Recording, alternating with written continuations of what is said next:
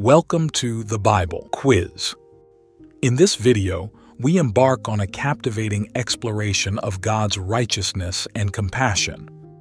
To clarify this topic, join us on this journey as we uncover the timeless truths embedded in the narratives of Nineveh and Sodom, stories that speak to the core of God's teachings and his relentless pursuit of guiding humanity towards repentance and righteous living. We have designed 25 interactive multiple choice questions to enrich your Bible study and add an element of fun while making the learning process more accessible. Now let's get started.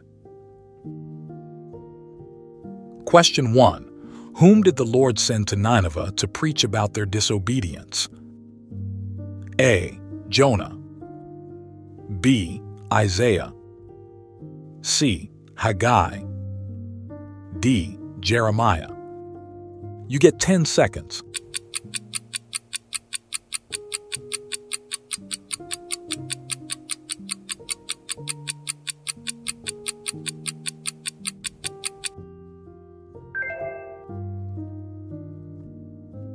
That's A, Jonah. Jonah, chapter 1, verses 1 to 2. Now the word of the Lord came to Jonah the son of Amittai, saying, Arise, go to Nineveh, that great city, and cry out against it, for their wickedness has come up before me. Question 2. How did Jonah describe the size of Nineveh in the book of Jonah? A. A one-day journey in extent. B. A two-day journey in extent. C. A three-day journey in extent. D. A four-day journey in extent. You get 10 seconds.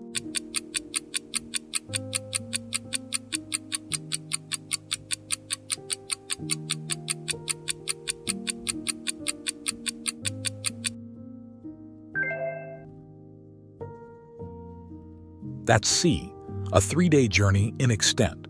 Jonah chapter 3, verse 3. So Jonah arose and went to Nineveh, according to the word of the Lord. Now Nineveh was an exceedingly great city, a three-day journey in extent. This description highlights the magnitude of Nineveh, suggesting that it was a large and significant urban center. Question 3.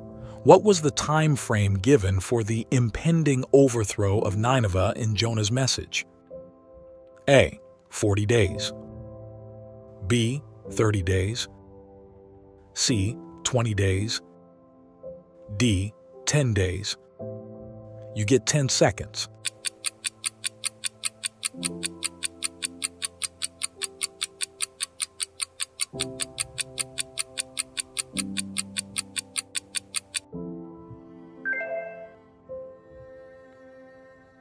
That's A, 40 days. Jonah chapter 3, verse 4. And Jonah began to enter the city on the first day's walk. Then he cried out and said, Yet forty days and Nineveh shall be overthrown. This time frame served as a warning for the people to repent and turn from their wickedness. Question 4. How did the people of Nineveh respond to Jonah's message? A. They ignored it. B. They mocked Jonah. C. They repented and sought God. D. They became hostile towards Jonah. You get 10 seconds.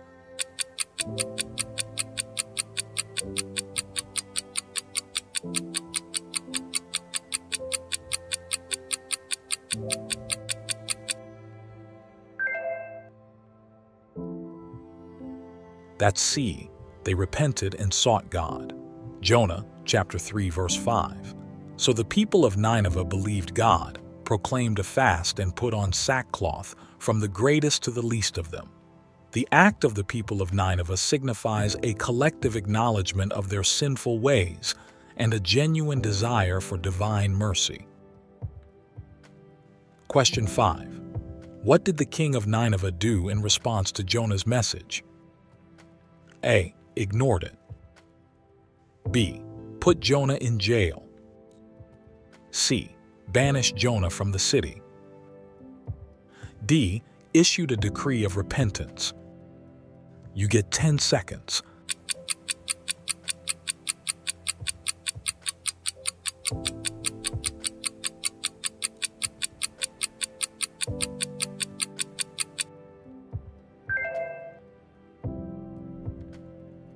That's D, issued a decree of repentance.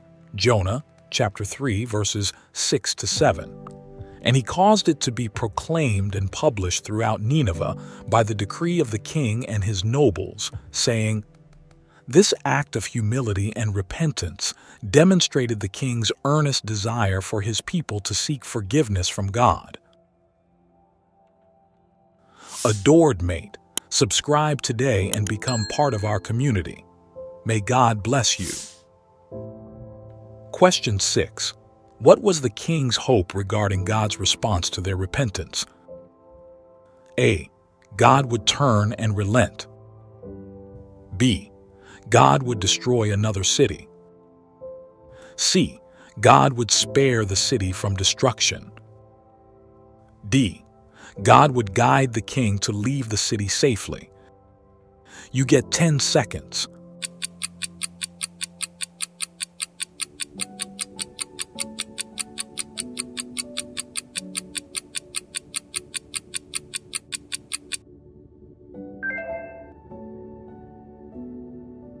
That's A.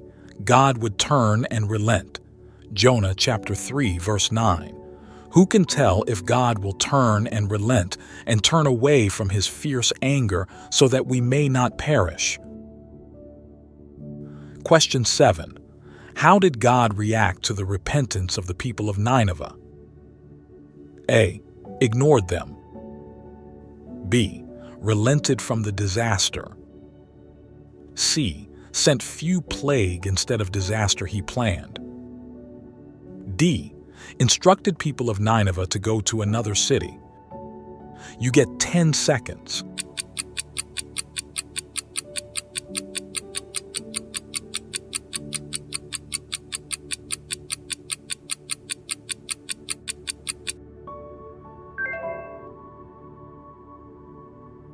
That's B, relented from the disaster. Jonah chapter 3, verse 10. Then God saw their works, that they turned from their evil way, and God relented from the disaster that he had said he would bring upon them, and he did not do it. This event demonstrates God's willingness to show mercy when people genuinely turn from their sinful ways and seek him. Question 8. Who did God tell he was going to destroy Sodom and Gomorrah? A. Abraham B. Isaac C. Jacob D. Joseph You get 10 seconds.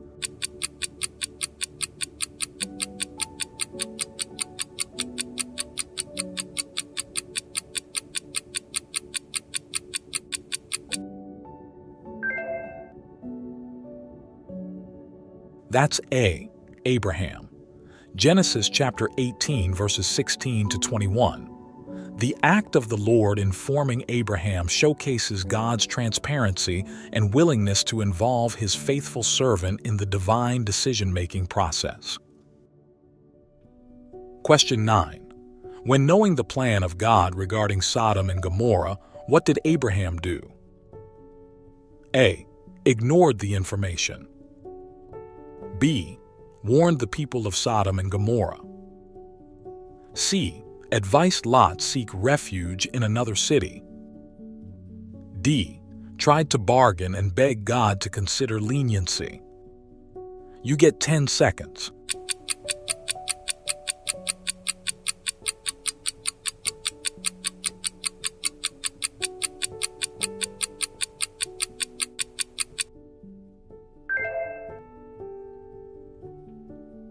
That's D, tried to bargain and beg God to consider leniency. Genesis chapter 18 verses 22 to 33. Abraham's act reveals his compassion and concern for the well-being of the inhabitants, as well as his boldness in approaching God on their behalf. Besides, this negotiation also reveals his divine willingness to consider alternative outcomes and demonstrate compassion, ultimately highlighting God's desire to show mercy when a righteous and earnest plea is presented. Question 10. How many righteous people did Abraham bargain to beg God save the cities of Sodom and Gomorrah from destruction?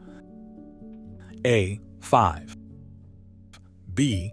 10 C. 15 D. 20 You get 10 seconds.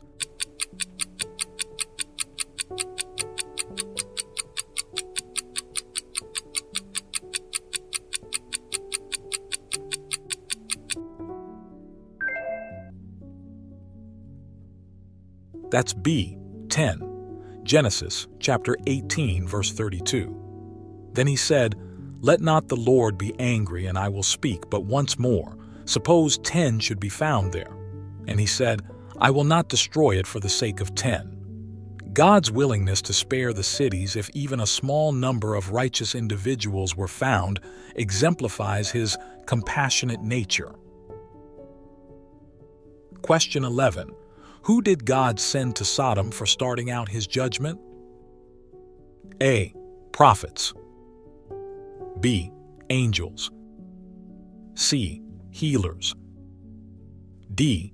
Criminals. You get 10 seconds.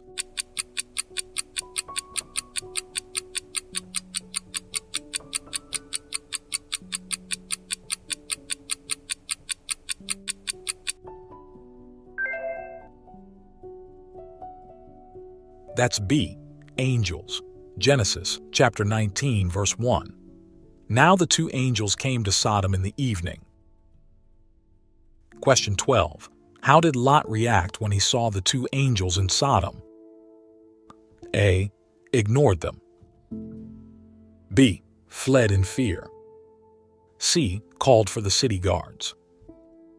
D. Bowed down with his face to the ground. You get 10 seconds.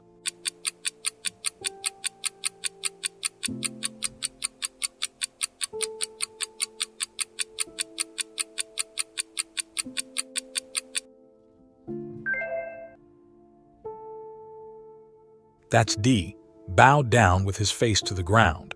Genesis chapter 19, verse 1. When Lot saw them, he rose to meet them, and he bowed himself with his face toward the ground. This gesture reflects Lot's recognition of the significance of the heavenly visitors in the context of the impending judgment on the city. Question 13. What did Lot propose to the angels after bowing down to them? A. Advised them to visit other cities. B. Stayed in his house. C. Asked them to bless his family. D sought shelter in the city gates. You get 10 seconds.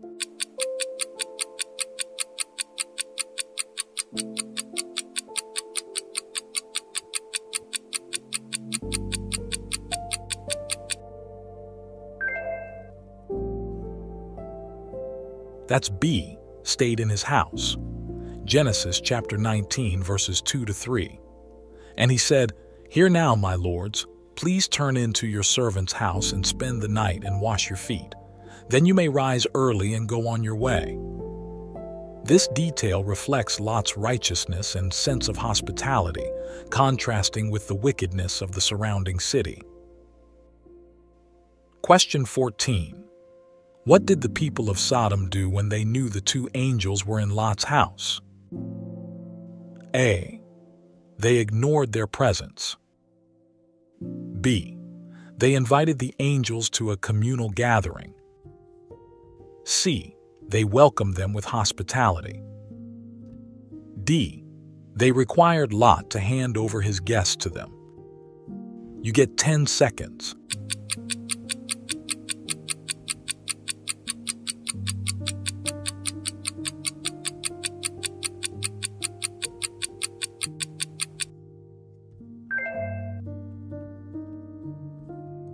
That's D. They required Lot to hand over his guests to them. Genesis chapter 19 verses 4 to 5. And they called to Lot and said to him, Where are the men who came to you tonight? Bring them out to us that we may know them carnally. This hostile reaction underscores the extreme wickedness of the people in Sodom. Question 15. What alternative did Lot offer to the men of Sodom to protect the angels? A. His daughters. B. His own life. C. A sacrificial offering. D. His wealth and possessions. You get 10 seconds.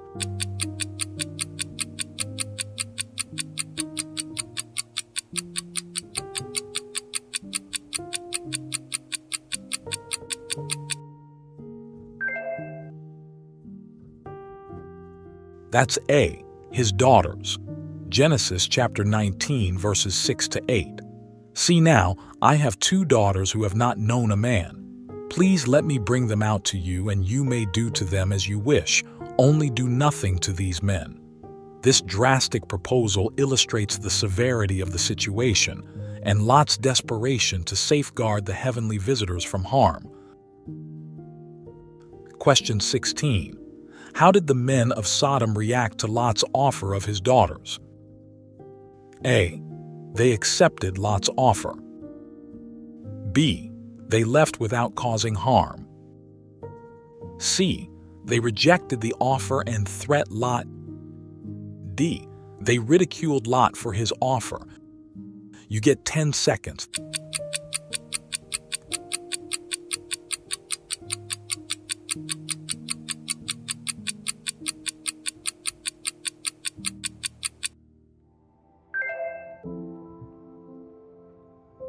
That's C. They rejected the offer and threat Lot. Genesis chapter 19 verse 9. And they said, "Stand back." Then they said, "This one came in to stay here and he keeps acting as a judge. Now we will deal worse with you than with them." This narrative further emphasizes the extreme wickedness and hostility prevalent in the city of Sodom. Question 17. What did the angels do to the men at the doorway of Lot's house? A. Killed them. B. Blinded them. C. Rendered them immobile. D. Gave them a chance for redemption.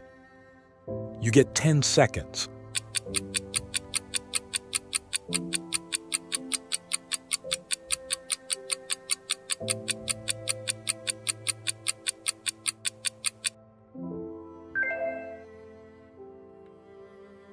That's B, blinded them. Genesis chapter 19 verses 10 to 11. And they struck the men who were at the doorway of the house with blindness, both small and great. The act of two angels was a divine intervention, thwarting immediate violence. Besides, it also symbolized the moral blindness of Sodom's inhabitants and foreshadowed impending judgment for the city's pervasive wickedness. Question 18. What did the angels do to protect Lot and his family before they destroy Sodom? A. Provided Lot with weapons. B. Instructed them to hide in their homes. C. Advised Lot and his family to flee the city. D. Called for divine intervention. You get 10 seconds.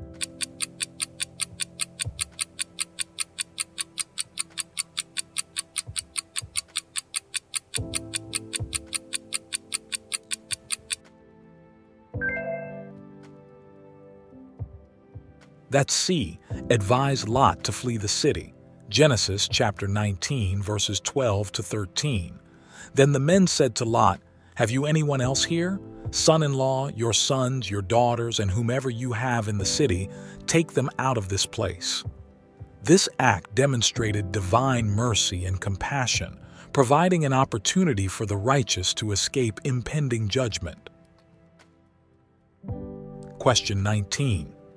Who did not believe Lot when he told them about what was to happen to Sodom and Gomorrah? A. Lot's servants. B. Lot's brothers-in-law. C. Lot's neighbors. D. Lot's daughter's fiancé. You get 10 seconds.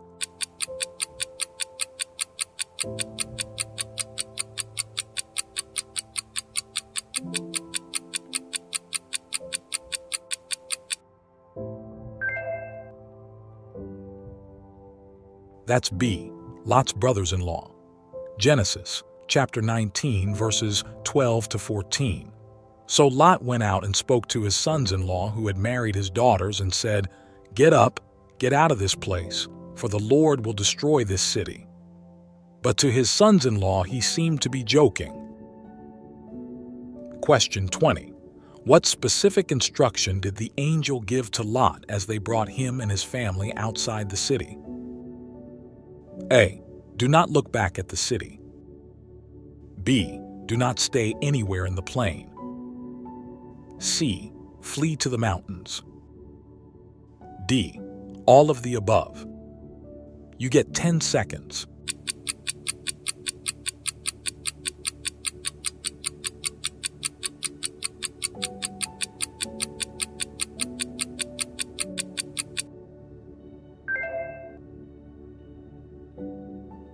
That's D, all of the above.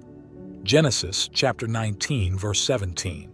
So it came to pass when they had brought them outside that he said, Escape for your life.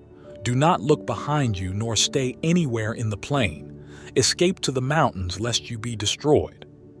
These instructions reflected the divine guidance and protection extended to the righteous in the face of imminent judgment.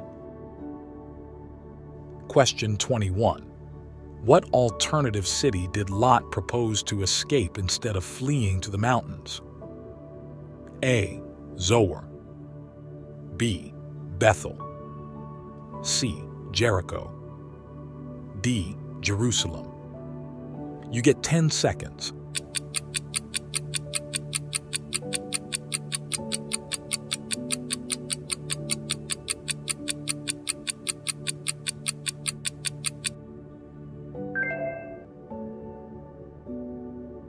That's A, Zoar.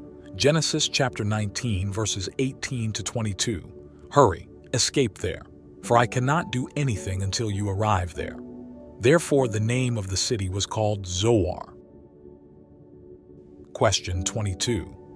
What punishment did God bring upon Sodom and Gomorrah as Lot entered Zoar? A. Frozen in ice. B. Deadly famine. C. Death of the firstborn. D. Devastation by fire and brimstone. You get 10 seconds.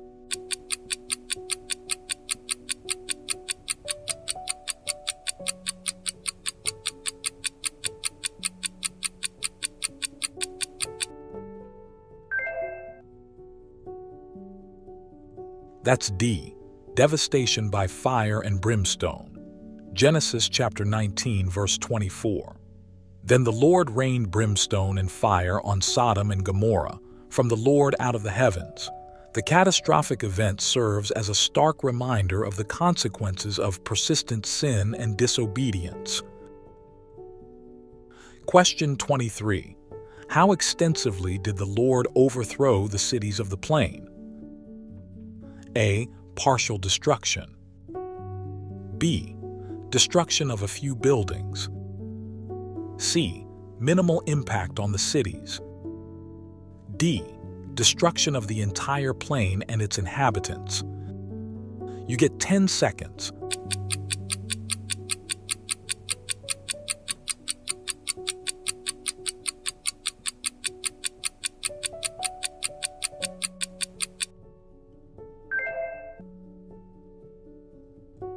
That's D destruction of the entire plain and its inhabitants. Genesis chapter 19, verse 25. So he overthrew those cities, all the plain, all the inhabitants of the cities, and what grew on the ground. This detail underscores God's commitment to righteousness and his intolerance for unrepentant wickedness. Question 24. What happened to Lot's wife who ignored a warning not to look back when fleeing Sodom and Gomorrah? A. She was unaffected.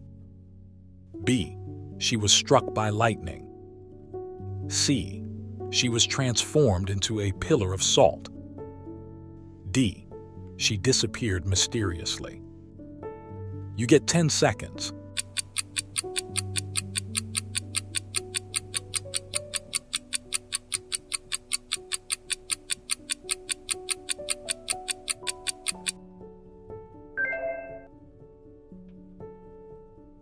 That's C. She was transformed into a pillar of salt. Genesis chapter 19 verse 26. But his wife looked back behind him, and she became a pillar of salt. This event serves as a cautionary tale about the importance of heeding divine instructions and avoiding attachment to a sinful past. Question 25. What did Abraham observe when he looked toward Sodom and Gomorrah the morning after the destruction? A. Rebuilding efforts. B. Signs of celebration. C. Smoke rising like a furnace. D. A deserted landscape. You get 10 seconds.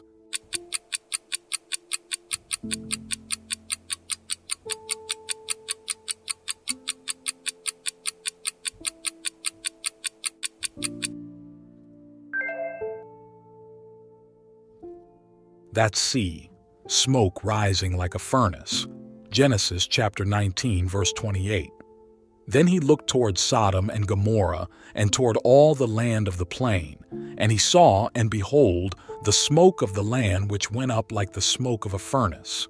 The sight symbolized the intense and all-encompassing nature of the divine judgment unleashed upon these cities. Oh, wow! What an extraordinary voyage into the narratives of Nineveh and Sodom, unraveling the profound depths of God's compassion and his unyielding commitment to righteousness. Now, it's your turn to share your experience. Drop a comment below and let us know how many questions you got right and the profound lessons you've extracted from this narrative. Your insights are invaluable and contribute to the collective wisdom of our community. If you found this quiz enlightening, do your part by sharing this video with your friends and family.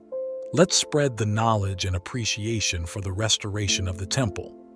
Together, we can create a ripple effect of understanding. Thank you for joining us on this enlightening expedition. Keep the conversation going, keep sharing, and most importantly, keep learning.